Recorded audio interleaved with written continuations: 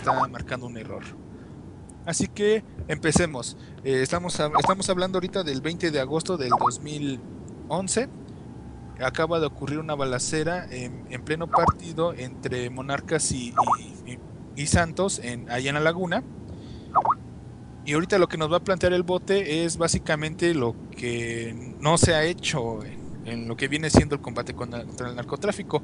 Buenas noches, bote. Ahora sí, adelante con lo que estábamos planeado. Bueno, no, ahora vamos desde el pie si te aguantas. yo sí aguanto, es que yo, yo lo siento por el bote porque yo, yo siempre que, lo, eh, que me voy temprano, lo veo ahí ya, ya está dando, ya está tuiteando desde las 5 de la mañana. bueno, buenas noches a todos. Eh, buenas noches, bueno, es que no me aprendo el saludo de ustedes, pero bueno, gracias por acompañarnos aquí en este programa donde estamos con el buen Gaznate. Eh, agradezco la invitación del santuario para, para este sábado, para esta noche de sábado. Y bueno, primero que nada voy a empezar eh, rápido por este, por invitarlos a, que, a que no se pierdan noticias con el bote. Ahí en www.tiraderodelbote.com a las 11 de la mañana. Ahí van a encontrar en el propio, en la propia página van a encontrar este, un pequeño botoncito en la cabecera donde dice transmisiones en vivo. Ahí, ahí me pueden escuchar en vivo todos los días a partir de las 11 de la mañana, de lunes a viernes. Eso es con lo que, que ahora sí que quería empezar y bueno, y agradezco estar aquí con el buen Gaznate. Bueno, tenemos la situación que se presentó de la balacera eh, ocurrida fuera del estadio de Torreón, que, que causó este pues pánico, eh, Vaya pues, o sea, inmediatamente los jugadores, el árbitro se fueron a los vestidores y la gente luego pues se saltó hasta la cancha y buscó, buscó irse a la, a la parte contraria del estadio, de donde se estaban presentando los balazos afuera del estadio, que es lo último que, he sabido yo al respecto. Y bueno, hace rato, hace rato el que estaba, el, eh, quien estaba transmitiendo anteriormente había comentado, por ahí la alcancé a escuchar, que estaba hablando de, de que esto podría ser en un momento dado, pues, un truco, es una especulación obviamente, pero, pero que podría ser esto un truco para presionar la aprobación de la Ley de Seguridad Nacional. Sí, bueno, básicamente lo que bueno planteaba Calufo es un poco lo que nosotros conocemos como la doctrina del shock, que es. este, ahora sí que espantarte para que tomes la decisión más pronta sin pensarlo bien. Sí, sí, más o menos. Es la teoría de Naoli Klein, que la, doctrina del shock, que básicamente parte, te voy a comentar rápido y aquí a nuestros amigos que nos están escuchando. Aquí dice Tunco que se fue el audio. Vamos a ver si, se, si, si alguien más nos puede decir si nos estamos escuchando. A ver, ¿se, oye el audio? Dice que no, ¿eh? A ver, y si no, se está grabando en este momento eh, lo que estamos, este, entonces nada más sale. Todo se está grabando, todo se está grabando. todo lo que pasa en la computadora se está grabando. Ya, sí. Sí, ya marcó que está fuera del aire. Ahorita ah, ya. Está. Ok, entonces continuamos. ¿eh? Bueno, entonces vamos a continuar. Mira, eh, básicamente voy a explicarlo. La teoría de Noel Klein parte de estudios que, de, que, que se llevaron a cabo hace muchos años, en los cuales, dentro de los experimentos que se hicieron eh, básicamente con judíos en aquel tiempo del holocausto, en, en aquella vez de la guerra mundial, la segunda guerra mundial, y que demostraban que, por medio de choques eléctricos, de shocks eléctricos, terminaba un hombre, este, pues terminaba como prácticamente siendo un bebé. O sea, prácticamente así terminaba una persona. Era como si fuera un bebé, pero pues de tamaño, del tamaño de un hombre. ¿Por qué? Porque los choques eléctricos le fueron limitando su capacidad cerebral hasta dejarlo como si fuera un recién nacido. Eh, esto, esto, esto de la doctrina del shock es una, es una teoría de Naoli Klein que básicamente plantea esa situación de cómo por medio del shock. Y también el estudio abarca, según así lo entendí yo, también abarca de que el shock se puede dar de manera masiva vía, por ejemplo, eh, la televisión, vía las imágenes. Está presentando de una u otra manera imágenes que infundan temor en la sociedad. O sea, eso es, eso es básicamente la teoría. ¿Y con qué fin? Pues con el mismo, como te digo, se va, se va afectando la capacidad de pensar de, la, de las personas a grado tal de que los shocks pueden dejar a una persona como si fuera un bebé. Entonces, en ese estado, en el estado de shock, la gente, eh, la gente no, no, no, piensa como, en, como si fuera como cuando se encuentra en un estado normal, o sea, se limita el pensamiento. Entonces, eh, de ahí es donde parte esa, esa historia del shock. Ahora, ¿por qué me interesa a mí ver este asunto? Porque vemos ahorita lo que pasó en el estadio. Una de las ideas, esto se suma, esto se suma a la percepción generalizada del incremento de la violencia que hay en el país, que de hecho, de hecho, no es solo percepción, sino que es una realidad. Ahora, yo de lo que, yo, yo mi planteamiento lo quiero hacer con qué objetivo, porque se puede plantear, ya los estoy viendo, como dicen por ahí, ¿no?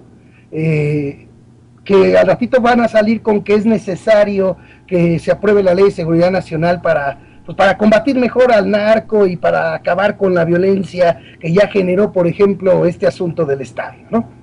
Podrían agarrar y agarrarlo también de pretexto. Yo no voy a, yo no me voy a quedar en la, este, vaya, pues yo no, me, yo no voy a manejar la idea de que haya sido algo que, que de manera deliberada se hizo, sino más bien a mí lo que me interesa es evitar, eh, con lo que estoy planteando, evitar que la gente caiga en simple y sencillamente pues pues que terminen pidiendo inclusive que se que, que, se apruebe esa ley de seguridad nacional porque según es lo que se necesita para llevar a cabo pues un combate eficaz al, crimen organizado. Para esto, para este asunto yo lo que quiero plantear es primero que no debemos de, de, este, de, de apostarle, bueno pues que no debemos de caer en lo que en lo que el sistema le apuesta el sistema le apuesta a la desmemoria. Y nosotros debemos partir de la idea de no caer en ese juego de la desmemoria. ¿Esto por qué lo digo? Porque antes de que entrara Calderón, no estaba la violencia como está. Y sin embargo, y sin embargo, estamos hablando de historia reciente, mi buen Gaznat. No estamos hablando de hace 10, 20 años, estamos hablando de 5 años yo creo ni cinco. Bueno, sí. Cinco, ¿no? Sí, no, no, yo, yo me acuerdo, no fue, no, no sé si fue el primero de diciembre, el 2 de diciembre, que luego, luego fue la orden de sacar a los soldados. Sí, fue el operativo conjunto Michoacán, fue con el que se empezó. Pero, o sea, fue entrando, entrando que inició este combate al crimen organizado de Calderón. O sea, empezando su gestión. Entonces, estamos hablando de, pues sí, va, va, va a cumplir cinco años en, el, en este eh, va a cumplir cinco años el diciembre que viene. Entonces vamos a ponerle cuatro años y medio. Fíjate qué tan reciente es esa historia, por qué es importante resaltarlo. Porque hace cuatro años, hace cuatro años y medio, antes de que Calderón llegara, no estaba la violencia como está ahora. Y sin embargo, había la misma ley de seguridad nacional que hay ahora, que es la que pretenden reformar. O sea, aquí, aquí, eh, aquí vale la pena mencionar esto, ¿por qué? Porque toda esta violencia se desata desde esa vez, estamos hablando de cuatro años y medio, desde esa vez se desata la violencia, desde que Calderón decide dar el, palazo al avispero y no combatir donde de veras les duele, eh, por ejemplo, al crimen organizado. Los delitos que comete el crimen organizado los comete por una razón que es la que todos los ciudadanos deben de tener conciencia. Los comete porque son un negocio. Por eso se cometen. No se cometen por otra cosa. Se cometen porque son un negocio tan lucrativo que hace que el delincuente haga de lado escrúpulos, haga de lado todo con tal de ganar dinero. O sea, debemos esto de tenerlo bien en claro. ¿Por qué? Porque la clave de esto está en el dinero. La clave de todo está en el dinero. ¿Cuál es la forma eficaz de pegarle, por ejemplo, al crimen organizado? Pues en el dinero, en el lavado de dinero. Y tan no se ha hecho bien que aquí, que aquí, una vez lo comenté cuando me invitaste, pero lo voy a volver a, comentar ahorita por la importancia que, que tiene esto que estamos hablando. Salió un artículo en contralínea de Nancy Flores, en el que habla, fíjate bien lo que dice, nada más voy a leer un tramo del texto, porque es importantísimo.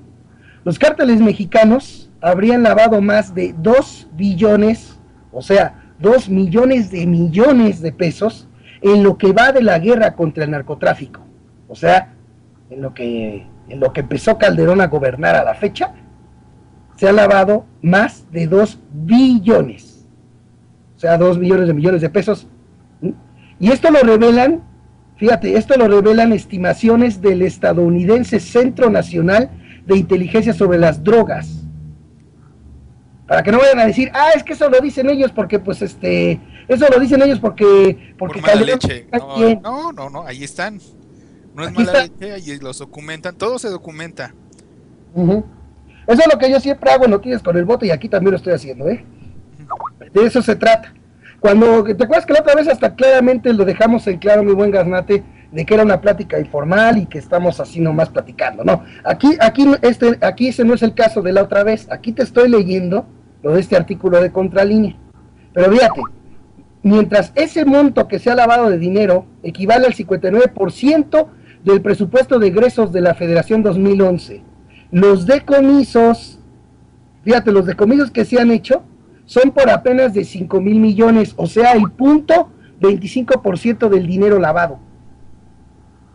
¿Te acuerdas que el otro día yo te decía, este, yo te comentaba de que el simple hecho de que se haya podido decomisar, se haya podido incautar el punto 25% es porque sí se puede. Te lo digo esto porque están, ya ves que, que también están con esto de hacer, de que están, están este, analizando y quieren aprobar una, una nueva ley para el lavado de dinero. Fíjate dónde está la tomada de pelo. ¿Por qué? Porque si no se pudiera con la ley que está, no se podría decomisar nada. Sin embargo, aquí en este reportaje de Contralínea nos, nos revela que se ha podido incautar, se ha podido decomisar el punto 25 quiere decir que sí se puede. Sí se puede y sí se ha podido. Pero no lo han hecho, simplemente han hecho poquitito.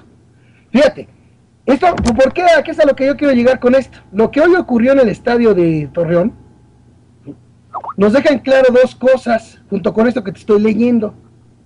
Dos cosas. La primera, o sea, perdón, las dos cosas que nos dejan claro es que han aumentado la violencia, o sea, fíjate bien, ha aumentado la violencia, es enorme, perdón, más bien dicho así, es enorme la violencia, esa es una, y la otra es que también es enorme la cantidad de dinero que se ha lavado aquí, cuando se supone, cuando se supone, y así lo ponen en todos los medios televisivos, que Calderón es el que decidió atacar de frente, con todo al crimen organizado, es un presidente valiente, porque él sí se atrevió. Sin embargo, este dato, este, esta publicación de Contralínea nos demuestra que donde de veras le duele al crimen organizado no lo han hecho. ¿Sí? No lo han hecho. Y sin embargo, y sin embargo siguen aferrados en esta estrategia que como ya el otro día te lo comentaba, nada más ha, ha servido para dos cosas. Para, eh, número uno, para que Estados Unidos haga lo que se le hinche la gana aquí, y obviamente justificarlo con el pretexto de que la prioridad es la seguridad. Fíjate, la prioridad es la seguridad. En el programa. De quién? Pero la de quién.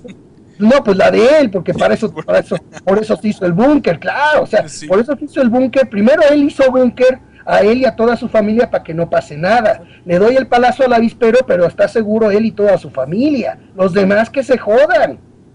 Fíjate qué tan ilegal es Fíjate qué tan ilegal es este el, el palacio al avispero que dio Calderón, que lanzó al ejército a las calles sin facultades. Por eso ahorita le surge eh, aprobar la reforma, la, reforma a la ley de seguridad nacional, porque lo que contempla esa, esa ley de seguridad nacional que quieren aprobar no es otra cosa más que legalizar lo que Calderón ya hizo ilegal.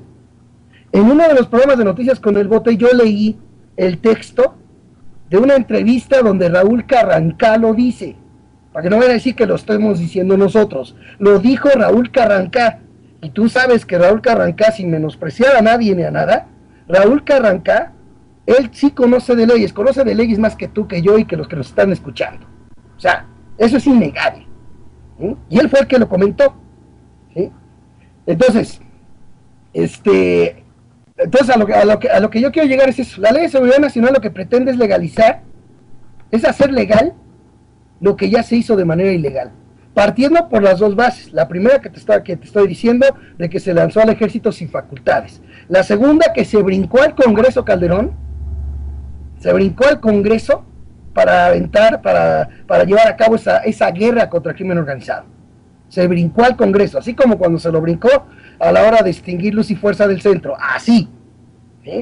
Entonces, junto con esto, a lo que yo quiero llegar es que no se combate el lavado de dinero como se debe, combatiendo el lavado de dinero como se debe, mi buen gasnato y a todos los que nos están escuchando, reduces la capacidad de compra si tú te vas sobre los recursos, sobre, los, sobre el, financiamiento, si tú te vas sobre él, que la manera es mediante, mediante el combate al lavado de dinero, el crimen organizado no tiene con qué comprar, ¿sí? No tiene con qué comprar armas. Así que por ese lado, a fuerzas, limitando los recursos mediante el lavado de dinero de manera correcta, limitando los recursos a fuerzas, este, limitas el poder para que se estén armando los cárteles. Eso debe quedar bien claro. Sin embargo, ese camino no lo ha tomado Calderón, el que dicen valiente, muy valiente, pero no ha tomado el camino de combatir el lavado de dinero como se debe. Sin embargo, toda esta ola de violencia que se ha desbordado, toda esta ola de violencia que se ha desbordado en el país, está sirviendo de pretexto para que, la, para que mucha gente caiga en el error de aceptar lo que sea con tal de que haya seguridad. ¿Me explico? Con tal de que haya seguridad, lo que sea. Así es como mucha gente empieza a caer. Ese lo que sea, ese lo que sea, pues es que vengan, vengan y se trometan aquí, ¿no? Le cambian el nombrecito, le cambian el nombrecito de, de injerencia estadounidense, se lo cambian a colaboración y entonces ya está dentro de la ley. O sea, porque para eso, para mañas ellos se pintan solitos, toda la clase política toda la clase política. La Suprema Corte de Justicia de la Nación pues le va a hacer al Lolo. ¿Por qué? Porque a final de cuentas, a final de cuentas las condiciones en este país son tales que la clase política, la Suprema Corte de Justicia de la Nación, pues básicamente sirven a lo mismo. Y ese, y ese lo mismo no es, no es este, los ciudadanos, no somos nosotros. Eso es lo que menos importa. Aquí lo que importa es que se vayan entregando las riquezas del país a, los cuates. Acabamos de ver esto de las licitaciones, ¿no? Pero bueno, no me voy a meter más. Eh, acabas de ver lo de las licitaciones que se acaban de dar bajo el esquema de contratos incentivados. Se supone de Pemex. De lo de Pemex. se supone que los, que los contratos incentivados es, se supone que en los contratos incentivados va a correr un riesgo el empresario. Si no hay petróleo, pues ya no te toca nada. Pero fíjate, fíjate qué chistoso, lo que les entregaron, lo que acaban de entregar de licitaciones son en campos maduros, o sea, donde a fuerzas hay petróleo, donde a fuerzas hay. ¿Dónde va a estar el riesgo de, los empresarios? No hay riesgo, porque lo que les dieron son campos maduros, o sea que donde hay petróleo seguro. ¿eh? Pero lo ponen bajo el esquema de contratos incentivados para no decirte ahorita a ti y a nadie para no, haga, para no decir cuánto es lo que realmente se van a ganar esas empresas que van a hacer eso, que van a hacer ese trabajo. ¿Por qué? Porque como es bajo contrato incentivado, depende de lo que encuentren, por ejemplo. Pero no están, pero caray, si estás, si lo que estás licitando son campos maduros, pues es obvio que allá hay petróleo. O sea, ¿dónde está el riesgo, pues? O sea, es tomada de pelo. Pero bueno, no nos vamos a desviar del tema, vamos, vamos sobre el mismo tema. Por eso te digo que es importante que no, le, no, le, no, le, no caigamos en el juego, porque ellos le apuestan a la desmemoria. Así como te estoy diciendo que con la ley, con la ley de, con la ley de lavado de dinero que está ahorita, se puede combatir el lavado de dinero, tan es así que por eso pudieron incautar el punto 25% que te acabo de leer. Si no se pudiera, no se incauta nada. De la misma forma, de la misma forma, con la ley de seguridad nacional que está, sin reformar, es con la que se tenía paz. No había la violencia desbordada que hay ahora. Entonces, ¿qué es lo que sucede? Que esto es por la misma estrategia de Calderón. Ahora, es de ponerse a pensar, si ahorita la, la, aprobación de la ley de seguridad nacional no es otra cosa más que legalizar lo que hizo Calderón ilegalmente. ¿Qué nos va a esperar, por ejemplo? Porque esto debe quedar bien claro. Por eso es importante que se entienda el por qué la, el por qué la negativa de muchos mexicanos a que se apruebe esa ley de seguridad nacional. Porque si, fíjate, si ahorita lo que hizo Calderón de manera ilegal se lo legalizan, en vez de sancionarlo por, por llevar a cabo acciones de manera ilegal, lo que va a suceder es que va a quedar el precedente de que cualquier cosa que haga el que esté en el poder, cualquier cosa que haga ilegal, al rato se la legalizan los cuates y se acabó el problema. ¿Cuánto más de violencia se puede esperar si ya legalizas esa presencia del ejército?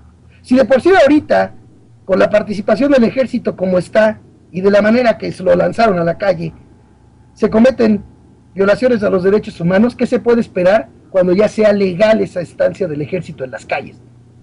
O sea, por eso es importante entender y no irse con la finta, porque yo, yo, yo pienso, te digo aquí, aquí, aquí sí para que veas, uno, independientemente de ponerme, de, de, manejar yo el concepto de que esto pudiera ser un truco, que esto pudiera ser un truco para, para presionar a que se apruebe esa ley, yo más bien me baso en cómo pueden aprovechar la consecuencia de lo ocurrido.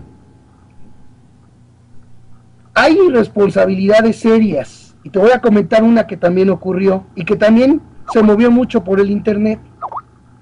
Te has de acordar, porque fue a penitas, lo de los videos del asalto a la pizzería, si te acuerdas, ¿no? Sí, allá en, en... Ay, Torreón. No, no, Torreón, perdón. ¿Es en Tamaulipas o Matamoros? Bueno, fue en Tamaulipas, digo... Fue Nuevo Laredo, Tamaulipas. Ah, Nuevo Laredo, sí, cierto. Estoy pensando en lo de hoy, perdón.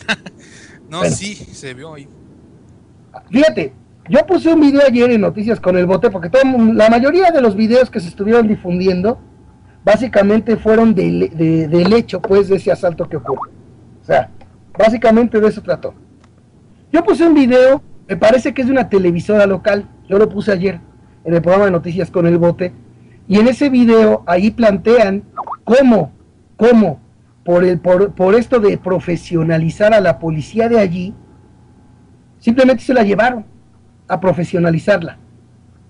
Y dejaron solamente a 250 militares a cargo de la seguridad de 500 mil personas. ¿Sabe lo que eso significa, mi buen Gaznate? Eso se llama, se llama irresponsabilidad. Fíjate, dejar a la, prácticamente a la población indefensa con el pretexto de llevar a profesionalizar a la policía. Esas son irresponsabilidades que también dan lugar al crecimiento de la violencia. Y hasta el momento yo no he visto a ningún cesado de allá de Tamaulipas. No he visto a ningún cese de nadie por haber dejado ese lugar prácticamente sin policía. Ahora sí que fíjate, ¿qué es 250 soldados para resguardar la seguridad de 500 mil personas, mi buen Gaznate. Bueno. Mira, pues aunque lo cesen, de todas maneras eh, cortan la cabeza y al rato aparece en otra dependencia. Ya ves cómo se las gastan aquí. Ok, sí, pero de todos modos. Pero, o sea, no, sí, pero mira, tienes razón en lo que planteas, pero es importante un cese y te voy a decir por qué. Porque en México estamos viviendo un problema muy serio, Gaznate. Ese problema es que, sí, que, pase lo que pase y haga lo que haga el cuatito que está en la, en la clase política y en los puestos de gobierno, simplemente no les pasa nada. Fíjate, pueden ser, pueden, pueden mentir, pueden este, llevar a cabo acciones irresponsables. Y el sistema es tal que simplemente a nadie, a nadie se le cesa, a nadie se le manda la goma por irresponsable. Como tú dices, ¿sabes qué? Si, si lo mandan, si, si, lo mandan a la goma, rato lo colocan en otro lado. Ok, pero ya quedaría el precedente de que se está empezando en este país, se está empezando a actuar en contra del funcionario que mienta, en contra del funcionario que engañe, en contra del funcionario que no cumpla y en contra del funcionario que, que haga acciones irresponsables. O sea, el precedente es importantísimo, por eso no lo hacen. Por eso aquí tú ves que, salen a mentir, salen a mentir en los medios de comunicación, salen a mentir en donde, en donde sea, y simplemente el, el que miente como si nada, como si nada, al contrario, hasta los, hasta los terminan premiando. Por eso es por lo que te digo que vale la pena tomar en cuenta que el precedente que se iniciaría ya de entrada es importante. Porque aquí simplemente quedan impunes los que no le cumplen al pueblo, los que lo engañan, los que le dan a tole con el dedo, quedan impunes en el país. Y no debemos, y no debemos olvidar nunca que es el pueblo el que financia el gobierno. Un gobierno que sabemos que no está al servicio del pueblo, pero es por eso por lo que los ciudadanos deben actuar. ¿sí? Deben actuar. Aquí en México, ya nomás, ya nomás quiero dejar bien en claro esto. Aquí en México tenemos líder, tenemos político, distinto. Dejamos bien claro, distinto. Tenemos líder, político distinto. Tenemos movimiento, tenemos proyecto. Eso es lo que tenemos para cambiar a México. Todo lo demás, eso de las candidaturas ciudadanas y eso, eso es atole con el dedo para distraer sobre el verdadero cambio. Te lo dejo bien en claro. A ti y a los que nos están escuchando. Ahora, sobre este asunto de lo, de lo que ocurrió allí en Torreón, no debemos, no debemos olvidar que antes de que Calderón empezara a gobernar, todo esta, toda esta ola de violencia no había. Primero dijeron que la lucha era para que la droga no llegue a los hijos. Resulta ser que el consumo de drogas ha aumentado en el país. Ah, después dijeron que la prioridad es la seguridad y lo único que vemos es un país día con día más inseguro. ¿Eh?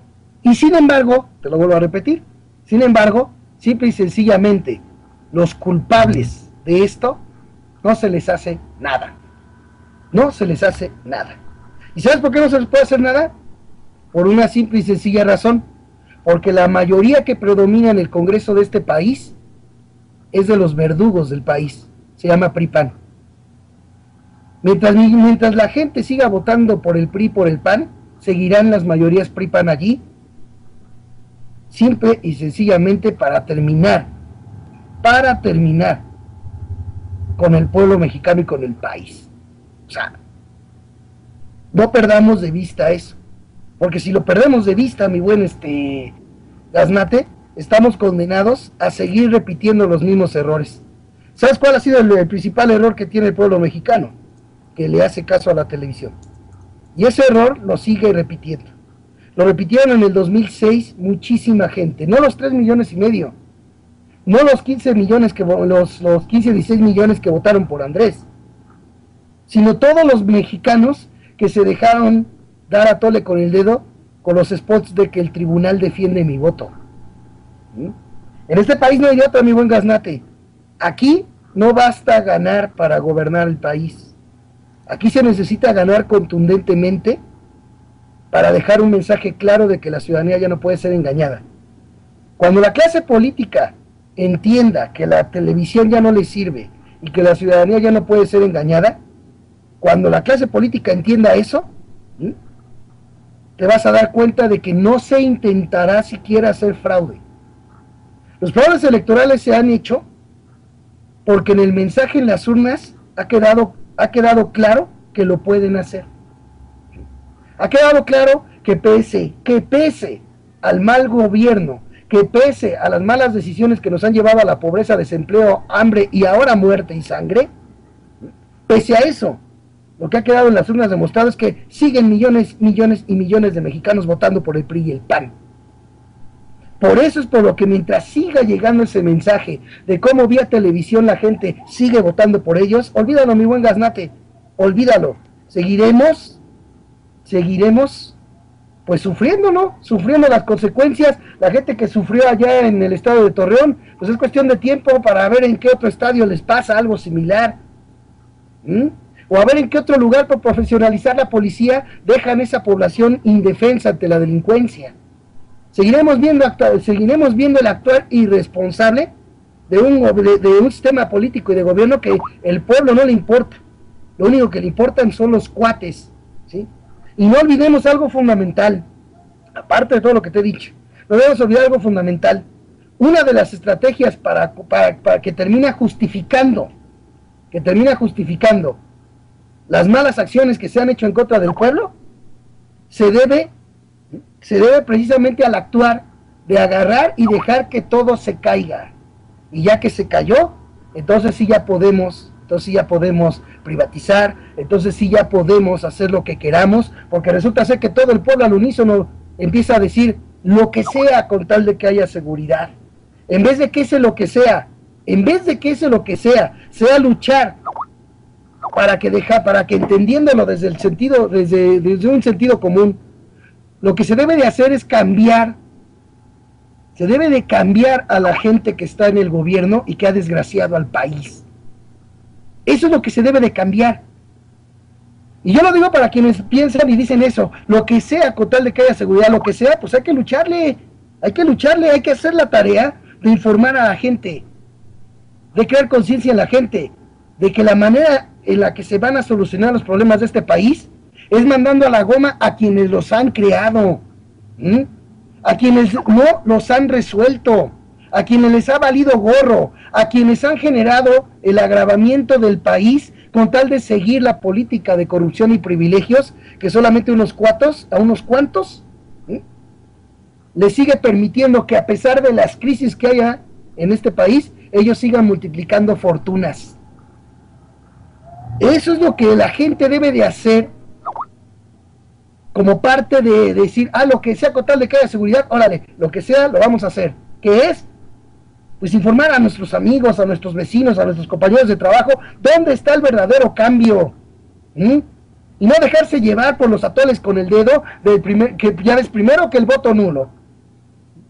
Y ahora resulta que de quienes han hablado de ese voto nulo que no sirvió para nada, el mejor ejemplo es que cuando la gente, mucha gente votó por el voto nulo y lo, y lo que hicieron ese año electoral, lo único que sucedió fue que nos aumentaron más impuestos y nos, este, sí, aumentaron el IVA y el ISR.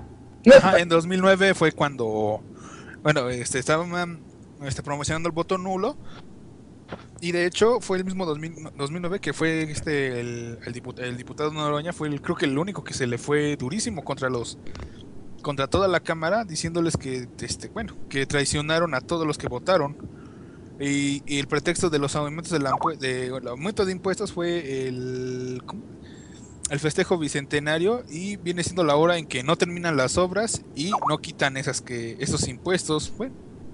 Así es. Bueno, pero fíjate que una, no voy a decir nombres para que no digan que es cuestión de, de, cizaña ni nada, no, no voy a decir nombres, pero una de esas, una de las organizaciones ciudadanas que ahorita está muy duro promoviendo esto de la reforma política, el mero mero de esa organización ciudadana es de, es de los que promovían el voto nulo. no vas que tienes una idea. ¿Quién no? no, no, voy a decir, no, no voy a decir quién, nomás te estoy pasando el dato así. Ah, bueno, entonces ahorita lo, lo voy a buscar. ah, ya, si tú lo buscas, ya, ya, es cosa tuya. Yo nomás estoy haciendo el planteamiento porque a mí lo que me interesa es que quede claro que la gente no se deje llevar.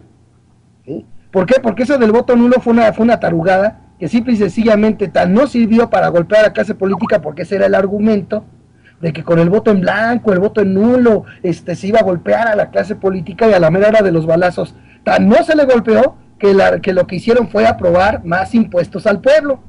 O sea, bueno, pues eso... Eh, sí, rápidamente, es que finalmente el voto nulo eh, en un país donde hay voto duro no te va a servir. Aunque digan misa y digan que, ay, es que van a creer los políticos al ver el número de votos nudos, se les va a mover la conciencia. No, son muy muchos. Pero ¿sabes qué, Garnate? Es que no va por allí, por, no va tanto por allí por lo que dices, sino te lo voy a decir porque realmente es.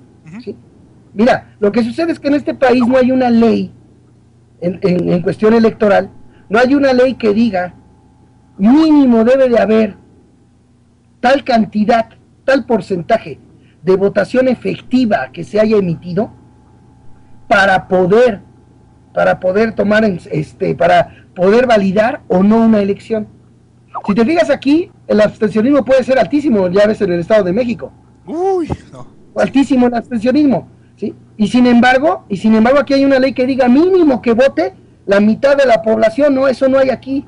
Aquí sí el abstencionismo es del 90%, aquí sí es del 99.999 y nada más fue a votar, nada más fue a votar Calderón para, para, por, por, Peña Nieto.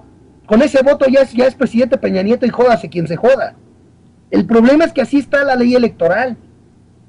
Aquí no importa qué tanta abstención haya, qué tantos votos nulos haya, para tomar la decisión de invalidar una elección. Eso no sucede en el país. Si, si hubiera una ley que obligara a que mínimo, a que mínimo, el, el, este, ¿qué te gusta? El, el, ya no vamos a poner la mitad, vamos a ponerle que mínimo el 70% de la población debió de haber votado de manera efectiva para que la votación sea, para que la elección sea válida. Si es menos de eso, la, la, la elección es anulada. Eso no hay en este país. Y también poner incentivos para que no, para que salgan a, votar, porque si no, este, nada más así, pues no se va a estar repitiendo la elección una y otra vez, o algo, algo, algo para que no, este, no nada más hay los promos de que, ay, salgan a votar, porque finalmente están un poco vaca, eh, capa caída con, con, lo que ha pasado. Mira, la, mira, es que hay un problema aquí también que, que, que se debe de analizar, mira hay que entender por qué, por ejemplo, el ciudadano no vota. En el caso del Estado de México sabemos que buena parte se debió a estos operativos que hizo la ACE, ¿te acuerdas? Ah, la policía. Bueno, básicamente para el que no ubique qué, se hace, es la policía, ya, ya. Sí, la policía del Estado de México. Bueno, o sea, pero o sea, aquí lo importante es ver cómo, cómo, cómo por ejemplo, se, se, se hizo una acción para inhibir que la gente fuera a votar y aprovechando que la ley, que la ley, que la ley no dice, ¿sabes qué? Que fíjate que si mínimo no te vota, no te vota el 60% de la población, se anula la elección.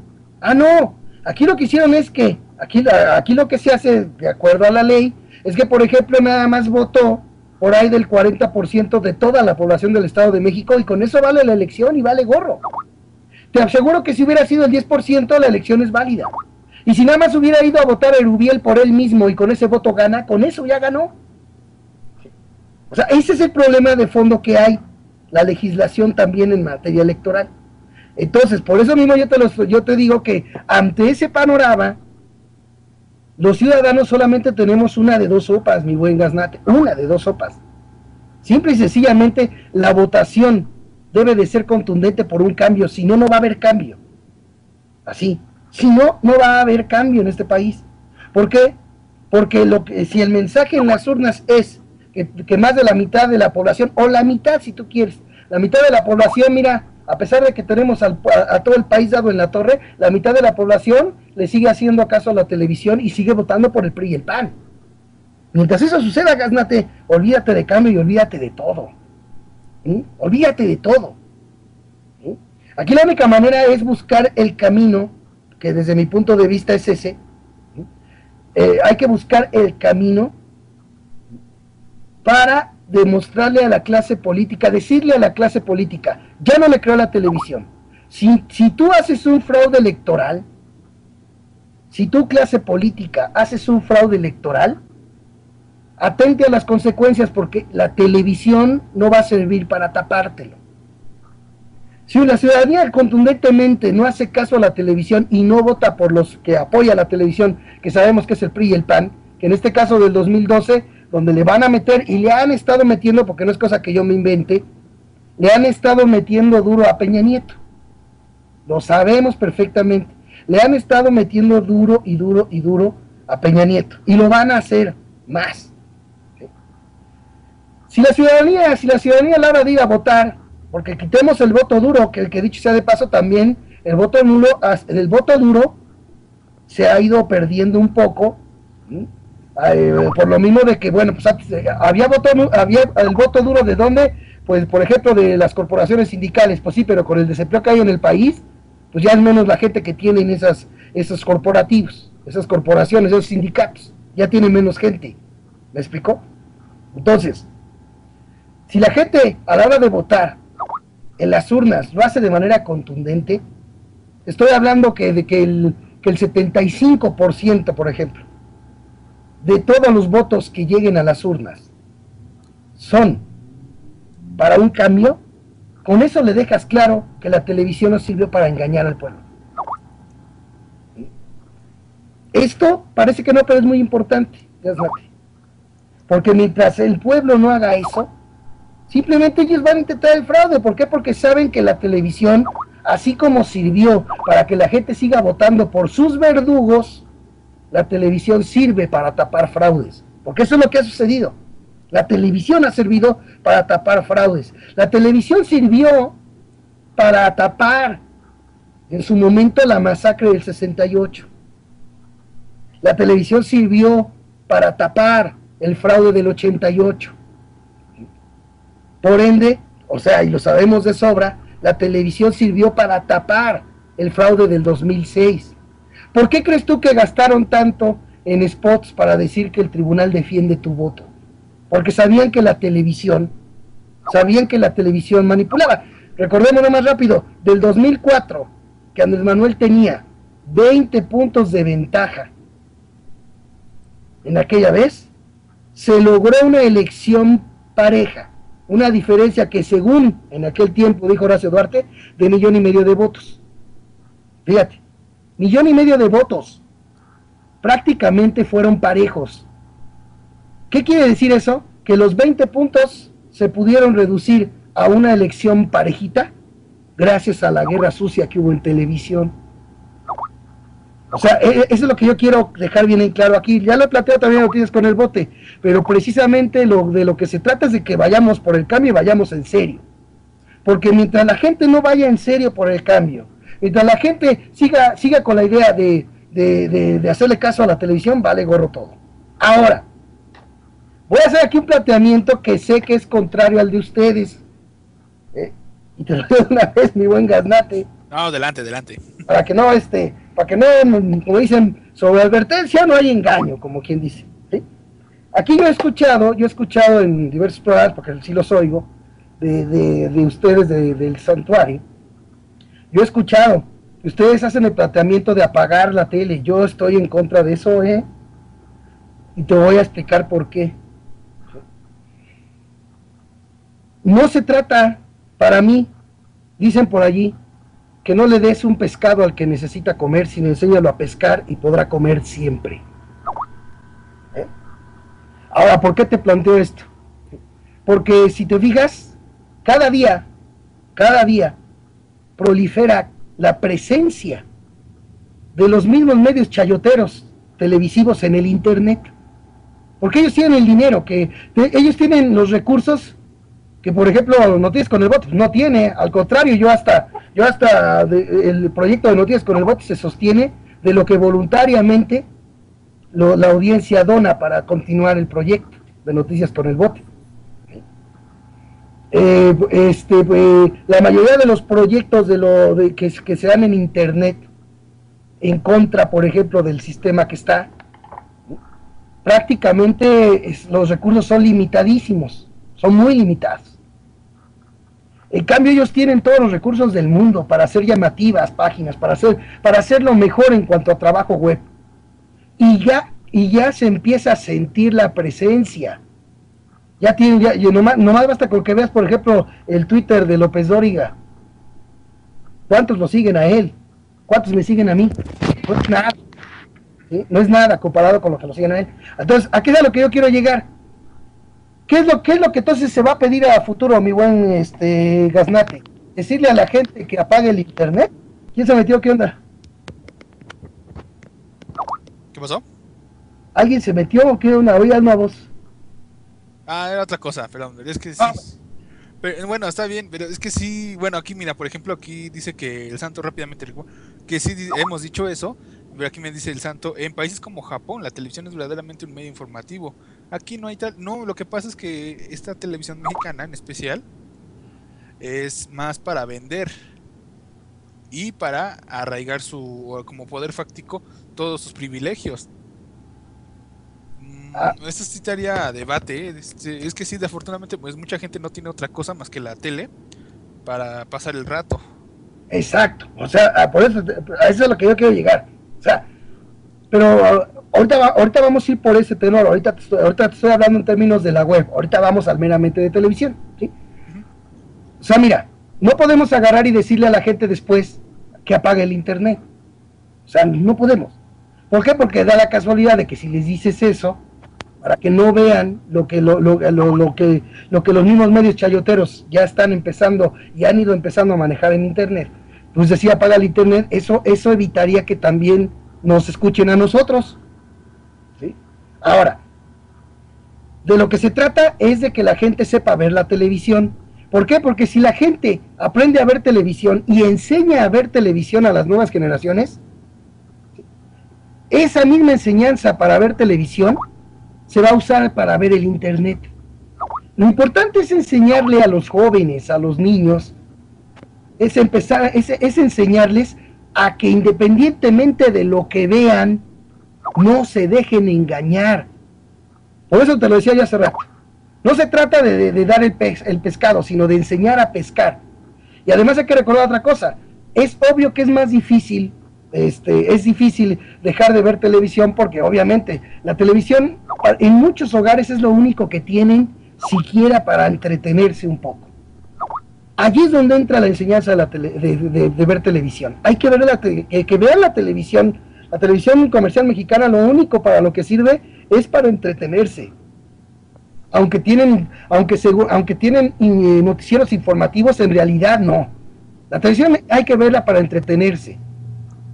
Mientras no, haya la, mientras no haya la suficiente ética al llevar la información a la gente, los noticieros de las televisoras deben de verse también como entretenimiento. ¿sí? Que la gente también, dentro de la enseñanza de ver televisión, la gente aprenda a investigar y no dejarse llevar nada más porque la televisión lo dijo. De eso es de lo que se trata, mi buen Gaznate. Y no simplemente el camino más fácil, y perdón para quienes lo han dicho en el santuario y lo han dicho en otros lados, porque déjame te digo que me ha aventado mis, rounds, por decirlo así, con la audiencia que tengo yo también en noticias con el bote al respecto.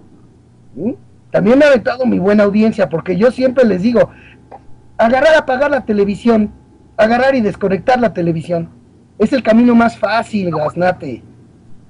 El camino correcto Recuerda que no siempre la línea recta es el mejor camino, a pesar de que es el más fácil para llegar al otro lado. Aquí nosotros lo que tenemos que dejar en las nuevas generaciones sobre todo, hay que dejar un cimiento, hay que dejar un cimiento importante de claridad para que vean lo que vean, escuchen lo que escuchen, les digan lo que les digan, no se dejen engañar que aprendan a tener, a, tener esa iniciativa de, buscar la otra voz. Porque eso es lo que hace falta en este país. En este país hace falta una democratización de medios para que se escuchen todas las voces. Pero como eso no hay, la voz que predomina en la mayoría de la población, que es vía televisión, es la del propio sistema. La otra voz es la que es coartada. La otra voz es a la que se le hace cerco. ¿Mm? Entonces, tenemos que, tenemos que dejar el cimiento de que la gente aprenda a buscar la otra voz, que en este caso pues, pues el Internet. Que cuando entren al Internet no se les ocurra entrar a las páginas de la Telerisa o la TV Azteca porque van a ver la misma, el mismo mugrero que ven en televisión, lo van a ver también acá. Ese mugrero sirve para entretenerse y punto, se acabó. Hay que buscar, eh, hay que buscar, eh, que, que aprendan a buscar alternativas de información para, para escuchar la, otra voz y al mismo tiempo ya formarse un criterio de lo que ocurre. Por eso es por lo que te digo que yo, yo planteo y seguiré planteando que eso de apagar la tele no es el camino. Decir a la gente no, vea la no veas la televisión es como agarrar y, y, y tener, seguir el camino de simplemente decirle, no ves tele porque eso te engaña, no escuches radio porque te engaña. No, entonces, ¿a qué vamos a tirarle? A que al rato la gente diga, no veas sin internet porque ya lo invadió Telerisa y TV Azteca. Ellos tienen los medios para hacer eso. Nosotros no. Nosotros no tenemos los medios para invadir televisión, mi buen. Nosotros no tenemos esos medios. El único camino para tener medios para, para, para tener ese espacio televisivo es la democratización de los medios. Pero mientras eso no se dé, ellos tienen el modo de invadir Internet. Todos los demás no tenemos los medios para invadir televisión. Entonces, lo que tenemos que enseñar es a que la gente no se deje engañar de televisión. Esa es mi postura. A ver, dime tú. No, pues básicamente quitarle las espinas a la tuna y comértela también. Ándale. Sí, ándale. Así, pues sí. o ir pepenando y ver, pues sabes que este no sirve, este no, este sí sirve, esto no sirve. Y, ah, y sí, desafortunadamente mucha gente, aunque vea los estos productos milagro, se lo llegan a creer. Y se lo llegan a creer que es un que llegaron, no me acuerdo cuál me dijeron, creo que la crema Secreticure llegó a pagar más, más publicidad que Bancomer. O sea, imagínate, un producto milagro le gana a un banco. Nada más aquí en México, o bueno, quisiera pensar que nada más aquí en México será eso. bueno, el ejemplo que tocas es estupendo, ¿eh? Es estupendo el ejemplo que tocas. Si yo agarro y tengo ahorita en mis manos, por ejemplo, tengo en mis manos una pierna de pollo y me dicen que la tire, pues no la voy a tirar. Tiro el hueso, que no me voy a comer. ¿Mm? Bueno, no que tú le enseñes, por ejemplo, a las nuevas generaciones a que si tienen un, a, que si tienen este, una pierna de pollo en la mano la tiren, en vez de que le digas, mira, cómete la carne y tira el hueso. no que le digas, ¿sabes qué? Tira la pierna de pollo. no. O la tuna. O sea, por favor, no. Mira, qué bueno que, que, pudimos tratar este tema. Yo creo que en ese sentido sí vamos tú y yo en la misma sintonía, porque yo he visto que, en muchos lados, este, he visto que, están bajo esa misma tónica, ¿no? De que apaga la tele. No, ¿cómo que apaga la tele? Entonces, ¿de qué se trata? ¿De que enseñemos y, y que creemos conciencia o de dar una instrucción simplemente de dar una instrucción absurda. O por lo menos, mira, ah, si quieres, este, por lo mientras que, eh, no sé, algo tan simple como que enseñarles a que cada vez que vaya a entrar el comercial, por ejemplo, que vean la voz de las empresas, que pongan el mood o el silencio, y así se, alguna cosita así. O que lo tomen, o que lo tomen, o más fácil, tómalo de quien viene. Exacto. Ellos, ellos quieren vender, no te quieren nativo. Exacto. Eh, por ejemplo, los comerciales estos que, pagó, eh, creo que fue el, el, Consejo Coordinador Empresarial, esos comerciales para convalidar el fraude. ¿Te acuerdas? sí, que desaparecían, desaparecía la, eh, se, iba a quedar sin tele, se iba a quedar no, no, esos, fueron, esos, fueron, unos que fueron los de la Guerra Sucia. Pero ah, yo estoy de los otros. ¿Más recientes? Los que, los que fueron más, no, los que fueron más recientes en el 2006, que estaban hablando de que la elección fue cerrada y de que y de que la, y de, que ahora lo iba a decidir el tribunal y que y que el tribunal pues es este defiende tu voto y todo ese tipo de comerciales. Uy, es que ha habido tantos, imagínate, uno, pues, uno, horrible de mamá, mamá, en el Congreso me escucharon. Híjole, a nadie le gustó, a nadie. Afortunadamente ese creo, luego luego lo mandaron al, al diablo. Lo, han de, haber puesto aquella vez que, algunos tuiteros fueron al Congreso, ¿no? Ya, ya, pues ya escucharon, ¿no? Fíjate que chistoso también eso dicho sea de paso, ¿eh? Van, van, pues, por ejemplo, aquella vez que fueron este tuiteros al Congreso, ¿te acuerdas? Eh, sí, los de Internet Necesario. Ah, los de Internet Necesario. Fíjate nomás, aquella vez dentro de lo de la reforma, fíjate nomás, dentro de aquella, no fue, fue la ley de, de presupuesto, estaba contemplando lo del, lo del impuesto al Internet. ¿Sí te acuerdas de eso, no? Sí. fíjate, fueron ellos a hablar por lo del 3%, que era lo que, se, pues, lo que era el asunto del impuesto al Internet. A la media hora de los balazos terminaron subiéndole dos, de, dos puntos de ISR y uno de IVA a todo México. Y aquella vez esos de Internet necesario que fueron allá, nadie planteó absolutamente nada al respecto de esos aumentos de impuestos. O sea, a mí me vas a perdonar, pero eso, eso para mí, eso para mí son tuiteros, con todo respeto, no, no quiero verme mal ni ofender a nadie, ¿no? Simplemente, de una u otra manera, no estoy diciendo que ellos tengan esa intención, simplemente estoy diciendo que en, en los hechos, para mí, eso fue una reunión con tuiteros, pero con tuiteros ad hoc, ¿sí? Porque realmente el hecho importante de exigir debió de haber sido que no se aumentaran impuestos en este país, que si mismo Calderón había reconocido de grandes consorcios que no pagan impuestos, hiciera bajo ese mismo reconocimiento exigir que se hiciera una ley, que se cambiara la ley para que paguen impuestos los que no están pagando impuestos y que están haciendo los grandes negocios como la bolsa de valores. Eso no lo fueron a pedir los Internet necesario. ¿Eh? Ah, por cierto, los de internet, a ver rápidamente, te, te cómo quedó. Ah, bueno, el comercial que te decía yo hablaba sobre el programa del primer empleo, pero los de internet necesario eh, se fueron, los turistearon bien bonito y al final de cuentas dijeron que no iban a cobrar ese 3% siempre y cuando eh, creo que era estuviera dentro de un triple play y, ni modo, pues es pues, ¿qué pasó? Pues yo creo que muy poquitos fue este fueron beneficiarios y como tú nos dijiste, de todas maneras te subieron el ICR y el IVA y eso y eso los poquitas personas que se lo llegaron a ahorrar, uh, voló, no sirvió de nada. Exactamente. Fíjate, era, más importante tratar el asunto junto, en dado caso si tú quieres, junto con que no le pusieran el impuesto al Internet. Como tú bien dices ahorita, fíjate, muy bien ahorita lo planteas. ¿Sabes qué? Este, que el asunto quedó en que no se cobra el 3% mientras estés este, metido en, en, un servicio de triple play. O sea, de todos modos te friegan, porque si tú dices, bueno, yo necesito el Internet, bueno, pues entonces para que no te cobren ese 3%, bueno, para empezar, para empezar si tú contratas internet es muy difícil, o sea, es, eh, es, difícil y te sale caro el gasto de instalación, por ejemplo, si nada más contratas puro internet. ¿sí? En la mayoría de los casos, pues tienes que contratarlo con otra cosa.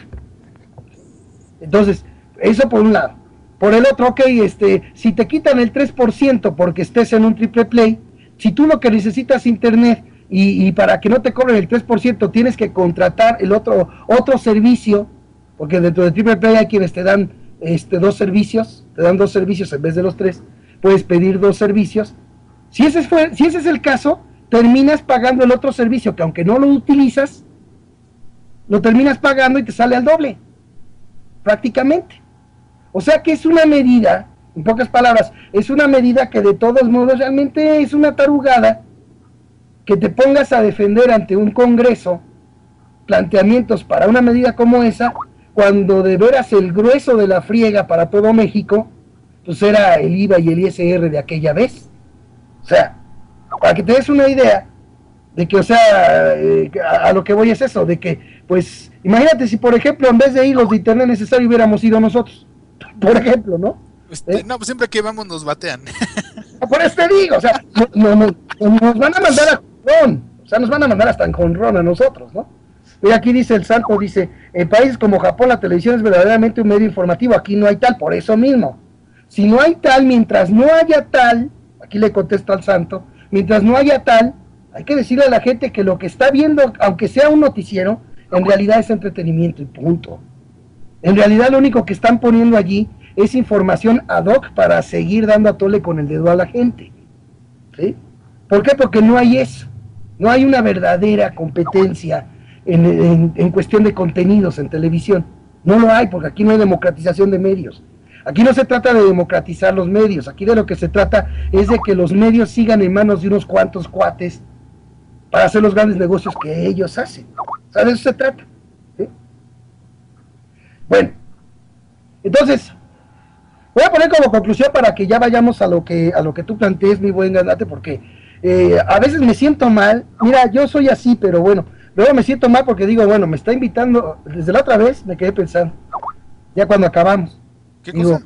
me quedé pensando, dije yo, eh, Gaznate acá en buena onda me invita a su programa, pero pues termina termina haciendo más programa mío que de él y digo yo, pues qué mala onda de mi parte, ¿no? No, no, mira, lo que, no, de hecho no, tenemos, tenemos que aprovechar lo más posible porque es una vez a la semana y nosotros estamos todas las, eh, bueno, todas las semanas, yo estoy más en los martes con los gatos absurdos y ya, si quieres, este, planteamos y para que, ahora sí que, para que terminemos, para que, bueno, para que termine, bueno, que haga las conclusiones, terminemos y ya para que te vayas a descansar porque veo que también los domingos te levantes tempranísimo. Bueno, es que, es que mira, en esto, en esto, de, hay que buscar precisamente, pues, estar actualizado lo más posible, tener actualizado, en mi caso, por ejemplo, el sitio del tiradero del bote, como yo el otro día se lo explicaba, pues, se lo comentaba al santo y te lo expliqué a ti también, este, el tiradero del bote, a diferencia, por ejemplo, de, del santuario, ustedes son varios, tú lo acabas de decir, son varios, hacen varios programas, esto, el otro, y acá en Noticias con el Bote soy yo solo solo mi alma y el apoyo de mi audiencia. O sea, nada más así me la llevo. Entonces, pues de todo, tengo que estar también al tanto de, tener actualizado ese blog, tengo que hacerlo yo. De todos modos, a mí me da mucho gusto participar, estar aquí con, con tu audiencia, estar aquí con todos y también, pues de pasadita, invitarlos a que no se pierdan noticias con el bote. Eh, este, de lunes a viernes estamos en vivo. Ahí en www.tiraderodelbote.com viene la pestañita eh, donde le dan para que los mande a donde está el, el reproductor donde estamos transmitiendo en vivo a partir de las 11 de la mañana. Primero empezaba ya a hacerlos como de una hora y bueno, a veces se va hasta dos horas y a veces el del miércoles fue de tres horas, fue un debate bueno que tuvimos por ahí. Pero bueno, entonces, este, así como estuvo para ir concluyendo, nada más de volada unas cosas rápidas que quiero comentar es, por ejemplo, esto que dijo el PRI, que hay que ver sus, lo que... El PRI, el PRI siempre que quiere que a la mera hora de los balazos se termine aprobando lo que quiere lo mismo que el PAN, al final de cuentas pues sabemos que la reforma laboral del PRI es la copia al carbón de la de Lozano, o sea, de la del PAN, y ya salieron a decir, salieron a decir que, que, van por una reforma laboral este, con candados. Ya sabemos que eso de los candados es atole con el dedo para que de todos modos se apruebe la reforma y, y, este, y la gente diga, ah, bueno, pues le pusieron restricciones. No, no, no, no, no. Aquí mientras la reforma esa laboral siga contemplando, siga contemplando la legalización del outsourcing, perdóname, desde ese momento queda claro que la reforma es lesiva para la clase trabajadora. Ahí no hay vuelta de hoja. ¿eh? Si yo le puedo el que le quieran poner, perdón, señores, eh, eh, es claro, es claro que el outsourcing es ilegal y el camino correcto de un Congreso honorable, cosa que no hay en este país. Aquí hay excepciones de legisladores honorables. Aquí hay eso. Pero un Congreso honorable no lo tenemos. Tan es así que hasta el mismo Congreso, recordarás del conflicto que hubo en el que Fernández Noroña, pues la verdad lo defendió muy bien y mis respetos este, de, cómo, de cómo llevó a cabo la defensa de, las trabajadoras de limpieza de allí. Pero ahí queda claro que la misma Cámara de Diputados se están sirviendo, se están sirviendo de una empresa outsourcing para la cuestión de la limpieza. Un outsourcing que es una figura ilegal en el país y el camino que ellos tomaron es el de el que, quieren tomar, tanto el PAN como el PRI, es el de legalizar, así como Calderón aventó eh, de manera ilegal, aventó al ejército a las calles y con esta ley de seguridad nacional se la quieren legalizar, con la reforma laboral le quieren legalizar a los cuates que han estado ya desde hace tiempo trabajando bajo una figura ilegal de contratación llamada outsourcing. Eso es lo que quieren hacer. Así que también esto es importante dejarlo bien en claro, este, eh, porque, porque si le van a poner unos candaditos, pero eh, independientemente de los candados que le pongan, si lo que terminan es legalizando el outsourcing, perdón, desde allí ese asunto es lesivo a los trabajadores, se acabó. No, pues no, no hay más que buscarle, ¿no? Bueno, y otro tema, ya nomás de rápido, que nomás quiero dejar allí una, una pequeña conclusión, nomás espérame tantito, deja deja nomás abrir aquí para comentarlo de volada. Esto lo, de, esto lo quiero aprovechar también porque pues mañana no, no hay ni programa de noticias ni nada. De lunes a viernes son los noticieros, pero no hay nada de nada, ¿no? Este, el asunto este del, nada más rápido quiero comentar, el pleito chimolero típico que se trae el PRI y el PAN, ¿no? Ahora con el asunto de la deuda. Quiero dejar bien en claro que para mí, desde mi punto de vista, el problema en sí no es la deuda. O sea, porque endeudamiento, eh, o sea, endeudamiento siempre ha habido, pero voy a explicar en qué sentido es el que, al que yo quiero enfocarme, porque se puede malinterpretar eso que dije de que para mí el problema en sí no es la deuda.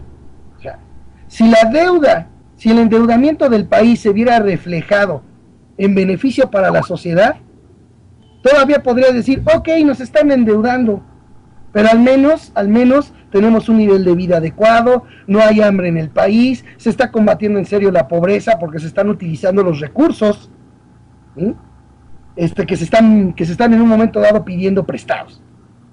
Pero ese no es el caso en México. Aquí desgraciadamente vemos dos cosas que también han crecido mucho. Dos cositas con respecto a ese tema que han crecido muchísimo. Al mismo tiempo que ha crecido el endeudamiento, también han crecido las enormes fortunas de los cuates. O sea, junto con el endeudamiento, lo que sigue, lo que seguimos viendo es cómo crecen las fortunas de quienes forman parte de la clase política, con excepciones, ¿no? Sabemos que las hay, ¿sí? Pero vemos cómo es grande. Aquí, aquí básicamente hay tres cosas que crecen. las fortunas de los cuates, las fortunas de los que forman parte de la clase política con excepciones, y son honrosas porque son muy pocas, y el endeudamiento. Realmente ni siquiera el endeudamiento es utilizado de veras para beneficio de la sociedad.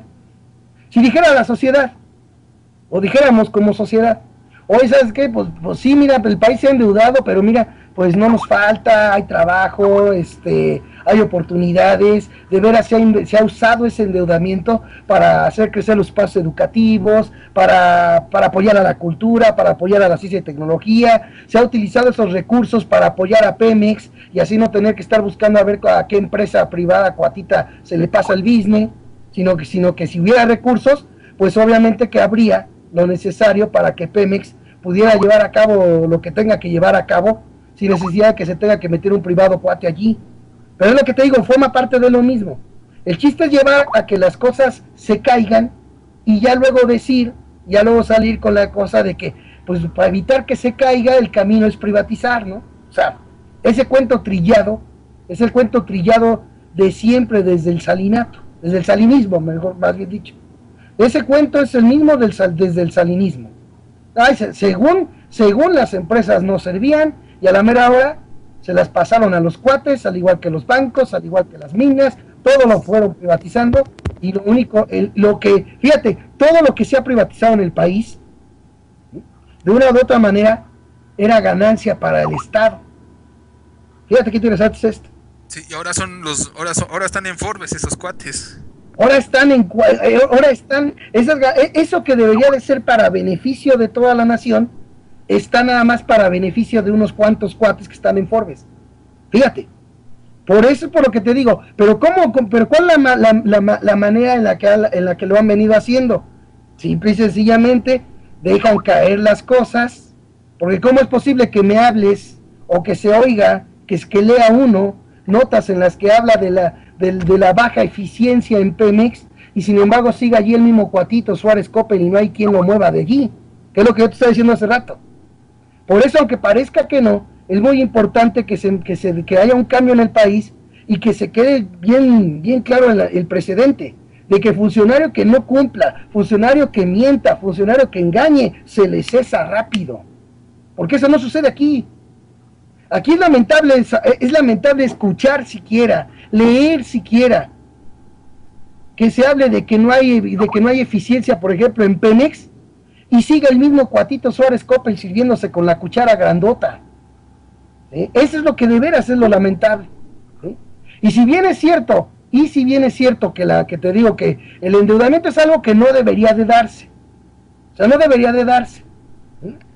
Y no sería necesario, y no sería necesario si la producción estuviera en manos de los mexicanos. Pero ese no es el caso. No sé si, leíste por ahí, si te diste cuenta por ahí, por ejemplo, yo leí una nota en la cual el Banco de México tuvo que comprar oro para sus reservas.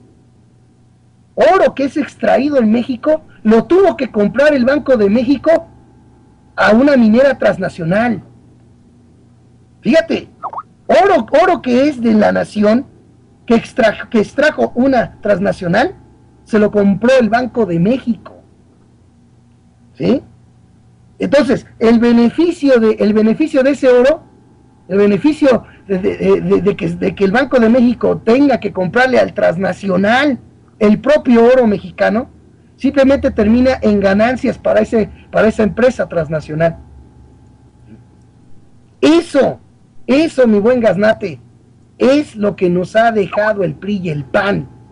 En conclusión, nos ha dejado el PRI y el PAN esta violencia porque yo no me chupo el dedo, sobre todo cuando se ponen, cuando, cuando se ponen a, manejar la idea de que es culpa de Calderón. No, no es culpa de Calderón, es culpa de todo el sistema, predominantemente del PRI y del PAN, que son los que desde hace años han construido este sistema.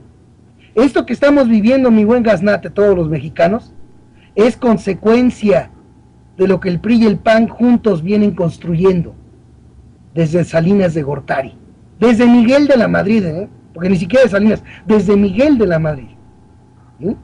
Entonces, aquí debe quedar bien en claro, los culpables de lo que estamos padeciendo en cuanto a violencia, en cuanto a pobreza, en cuanto a falta de oportunidades, en cuanto a la deserción, en cuanto al aumento, fíjate, al aumento de ambulantes, porque no hay de otra. Esto, esto que quiero así entre paréntesis dejar ahí claro también, es muy importante, voy a decir por qué. Un trabajador que producía pasa al desempleo y una de las salidas es, es vender algo. Multiplica eso por millones. ¿En qué, a, qué es a lo que quiero llegar con esta explicación? A que este país, en general, y, gracias a las medidas del PRI, del PAN, y gracias a que el gobierno no apoya al mercado interno, este país deja de producir y termina siendo especulativo. Un trabajador que en una fábrica producía y que lo despidieron y que ahora tiene que vender algo, aunque sea, no sé, un chicle, tiene que vender chicles, su actividad productiva la cambió por especulativa. Multiplícalo por millones de desempleados y estamos hablando de un país que se ha ido convirtiendo en especulador. No produce. Un país que no produce inminentemente se hunde en la crisis. Eso es inminente. Eso es inminente. Y aquí, aquí las cosas se han puesto de tal manera, se han puesto de tal manera que aquí hay crisis. Pues claro que cómo no va a haber crisis si hay aumento de desempleo. ¿Cómo no va a haber crisis si cada vez es más caro todo para la gente? O sea, ¿cómo no va a haber crisis si hay eso? Pero aquí está construido de tal manera que las crisis no, no, no, nos afectan a ti, a mí, a los que nos están escuchando. Pero acá a los cuatitos de arriba a ellos no les afecta en nada. A mí, a mí me, por ejemplo, cuando leí la nota de que mismo Ernesto Cordero estaba hablando de volatilidad financiera, bueno, a mí se me pusieron hasta los pelos de punta. En serio, hasta los pelos de punta se me pusieron. Porque fíjate, si así como está deconstruido el sistema, nos han llegado las crisis y el pueblo es el que sigue pagando las crisis, el pueblo mexicano. ¿Con qué? Con encarecimiento. Encarecimiento de todo. Hay, gente, hay familias, y son muchísimas, que ya ni siquiera comen tres veces al día, mi buen gaznate. Tres veces al día no comen. Tienen que, tienen que agarrar y comer dos o hasta una para que alcance. Fíjate. Sin embargo, sin embargo, desde el 2009 hasta la fecha, sigue creciendo la fortuna de Carlos Slim siguen creciendo las fortunas de los cuates. Si no, pues, si no, pregúntale a García Luna su casita que tiene, su casita de 20 millones cuando él debía dinero. Fíjate, cuando empezó él con Calderón, este Genaro García Luna, debía dinero, según su declaración patrimonial. Debía dinero. Ahora resulta que tiene una casa búnker enorme de 20 millones de pesos. Eso es lo que sí crece. Está, la economía de tal manera que no les afecte a ellos y por eso mismo la han estado anunciando de manera constante como una economía blindada. Está blindada, claro, ha estado blindada, pero para ellos. Porque toda la gente es la que sigue resintiendo. Lo único que se hizo fue mantener un esquema económico en el cual se mantengan los números macroeconómicos estables, pero el costo de esa economía es la enorme pobreza que vemos, es el enorme desempleo que tenemos. ¿sí? Sin embargo, sin embargo, ellos, ellos están muy bien. Si mismo Cordero sale a hablar de la volatilidad económica, nomás te pregunto, mi buen gaznate, ¿qué es lo que nos espera a los de abajo? Si cuando nos dijeron que esto iba a ser un catarrito, que lo dijo Carstens, que dicho sea de paso fue mentira y lo premiaron con el Banco de México, hablando de lo que te estaba diciendo hace rato, Imagínate ahora que si está reconociendo que sí va a haber problemas cuando ellos tienen la economía a modo, para que a ellos no les pase nada y por eso dicen que la economía está bien. Ahora dicen que va a haber problemas, que es de esperarse para nosotros. O sea, ahora sí que los ahora sí que lo de siempre que nos van a cargar más a nosotros lo que viene siendo los costos y los privilegiados, pues bueno, y como si nada, ya ves. Oye, rápidamente, mira, te están preguntando que cuál era tu, cuál era tu visión para 2018. Pues mira, yo creo que primero vamos a, ocuparnos de 2012. Ya 2018 es demasiado. Si el 2012 es, todavía de especulación, ahora 2018 todavía más. Mira, yo, yo, yo, eso que, que dices que preguntaron, yo nomás te voy a decir una cosa. Si para el 2012, oye lo que te voy a decir, ¿eh? Si para el 2012 los ciudadanos no hacen valer la democracia, yo vaticino para el 2018 un país no hecho pedazos, hecho añicos. Eso es lo que yo vaticino. Si la gente, si la gente no se organiza para que de veras las cosas cambien y termina ganando Peña Nieto la presidencia, yo lo que vaticino es un país hecho añicos. Así. Es lo que yo me espero para el 2018. ¿Mm? Así que, pues vamos a otra pregunta. Pues, no sé, a ver, es que estoy diciendo... ah, ah caray, dice un consejo para acabar con la pobreza en México, aparte de campos de concentración, no sé de qué se les dice. Del infierno mexicano al infierno japonés, prefiero el infierno japonés. Esto de, con respecto al temblor. Ah, no, no, no, dice el PAN, busca el voto de los paisanos en Estados Unidos porque México están quemados. Ah, no sé si están haciendo ahorita campaña por allá, no sé. Y aquí pregunta, aquí pregunta Raguna Bure, bu, ¿qué? Raguna, Raguna, ¿por qué no? ¿Para qué? Bueno, Raguna. Pregunta, dice, ¿creen que, ¿creen que si es más grande el muertómetro habrá más, más conciencia o no hay elecciones? Dice, ¿creen que si es más grande el muertómetro habrá más conciencia o, no hay elecciones? Para empezar, este, mi buen Raguna, déjame decirte que, que la cuestión de la conciencia no tiene que ver con los muertos, tiene que ver precisamente con los que estén vivos y que no se dejen manipular. De esos es de los que depende la conciencia. No depende de, de, de, los muertos o de la cantidad de muertos. Depende de cómo la ciudadanía se ponga a trabajar en crear conciencia. O sea, eso lo digo de paso. O no hay elecciones, pues eso no lo sé, porque depende, este, yo creo que va a depender de cómo quede, de cómo quede el asunto en cuanto a la reforma a la ley de seguridad nacional. Porque si se suspende, si por, o sea, eh, si por ejemplo queda el asunto en el que ya pueda ser decidido sin pasar por el Congreso, por ejemplo, la suspensión de garantías individuales, suspendiendo, habiendo suspensión de garantías, habiendo suspensión de garantías individuales, pues no, no puede haber elecciones cuando hay suspensión de garantías. O sea, eso, eso va a depender de mucho. Por eso yo insisto en que, independientemente de todo, este, pues yo creo que el camino que debió de haber tomado el, el Congreso, si fuera un Congreso honorable, cosa que no es, debió de haber mandado rendir cuentas a Calderón por habérselo brincado a la hora de lanzar al ejército a las calles de manera ilegal. O sea, se debió de haber hecho eso desde el principio. No se hizo. Entonces, ahora lo que se tiene que buscar pues es precisamente que no, que no se les termine legalizando eso, porque quién sabe entonces qué se puede esperar para después.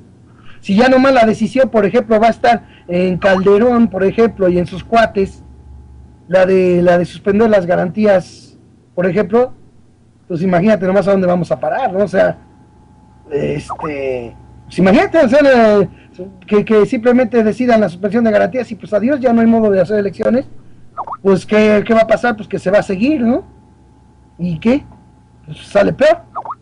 Porque si hay algo, si hay algo peor que, si hay algo más malo que el, que el PRI en el poder, ya nos lo dejó claro que es el PAN en el poder. Ya, ya, nos lo dejó de claro, ¿no? Y onda que ya es decir mucho, porque los dos son iguales de malos. A final de cuentas, eso, ese atole con el dedo de que el PRI, de que el PRI dejó de gobernar es cuento. El PRI, el PRI no este, perdió en el 2000 el, lo que es la titularidad del Poder Ejecutivo. Pero eso de que el PRI perdió el poder, eso no es cierto. Eso es atole con el dedo. En los hechos, el PRI y el PAN, desde Salinas de Gortari, vienen tomando las decisiones y construyendo todo lo que vivimos, juntos. El PRI no ha dejado de gobernar, sino se ha dedicado a gobernar juntito con el PAN en beneficio de unos cuantos potentados. Así nada más. ¿Qué más tenemos?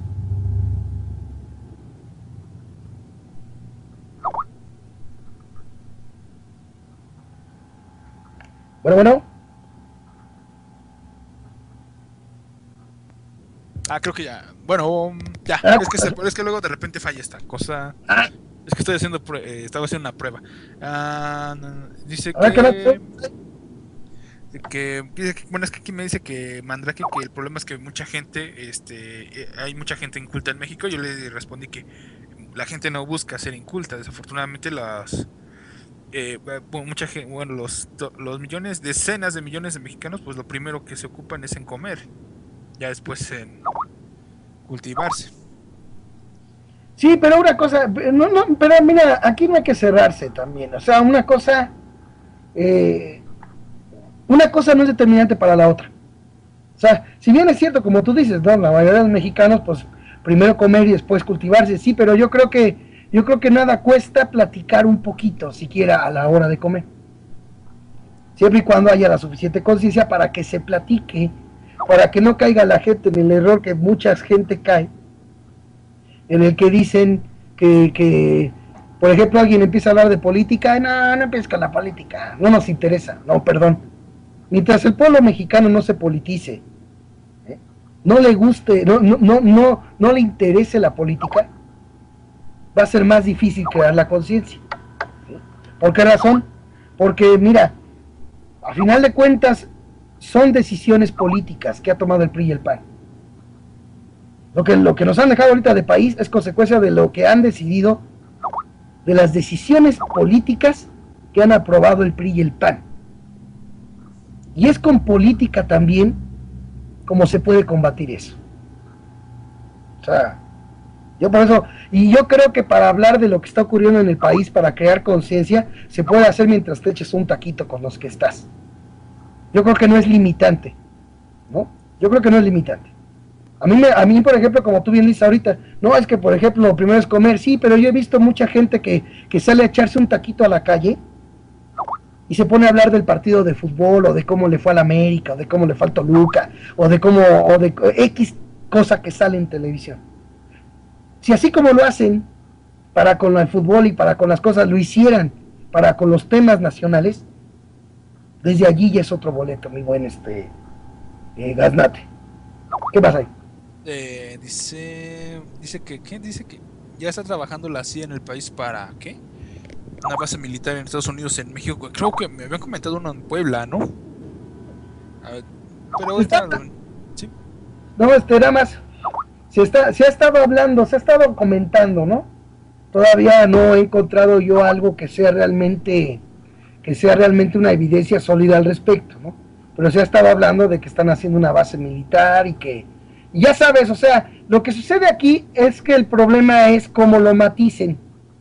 Por ejemplo, por ejemplo, eh, se está manejando, eh, sabemos nosotros de que ya está, de que ya está operando eh, las agencias estadounidenses de México ya están operando.